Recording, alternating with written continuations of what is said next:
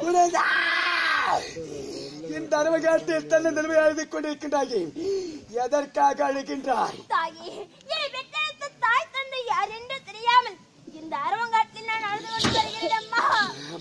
குழந்தாய் இந்த அரவங்காட்டினுடைய தாய் தந்தை யார் என்று தெரியாமல் அழுது கொண்டிருக்கிறாயா யாதொன்றுக்கும் கவலைப்படாதே. உன்னுடைய தாயும் நான் தான் உன்னுடைய தந்தையும் நான் தான் என்னுடைய வளர்ப்பு மகளாக. இந்த அரவங்காட்டில் நான் தான் உன்னை வளர்த்து வருகின்றேன். குழந்தாய். நான் பார்க்கும் பொழுது சின்னஞ்சிறு பெண்ணாக காட்சியளித்தாய்.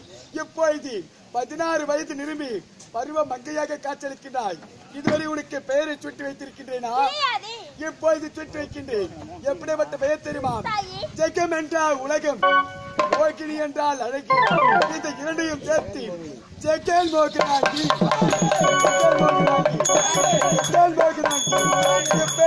பெயர் பட்டத்தை உனக்கு நான் சூட்டி வைக்கின்றேன் அது மட்டும் கிடையாது குழந்தாய். இந்த நல்லதோர் வேலைகளை இந்த அரவங்காட்டில் உனக்காக ஒரு வரம் ஒன்று அளிக்கப் போகின்றேன். எனக்கு வருமா? ஆம். எப்பேற்பட்ட வரும் தாயே. என்ன வரம் தெரியுமா.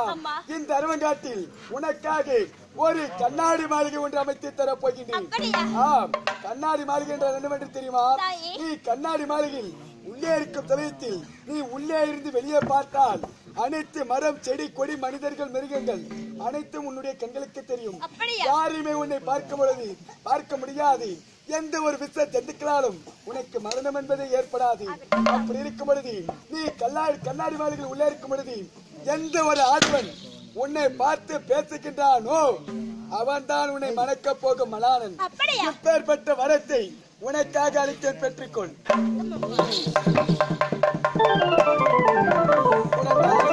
வந்து உனக்கேற்ற வரத்தை தந்து நான் சென்று வரலாமா? ஆகட்டும். கண்ணாடி மாலையை அமைத்திருக்கிறார் முதலில் சென்று நான் கண்ணாடி மாலையை சுற்றி பார்க்க வேண்டும் அல்லவா? அம்மா. ஏதோ நாரதர் கொடுத்த சாபம் என்னை விட்டு விலகியது. பெண்ணாக இருந்த நான் மறுபடியும் சுய உறவும் பெற்று விட்டேன் ஒரு அரக்கனாக மாறிவிட்டேன். இப்போதே சற்று சிம்மாசனத்தில் ஓய்வெடுக்க வேண்டும். எங்கடா சிம்மாசனம் உனக்கு?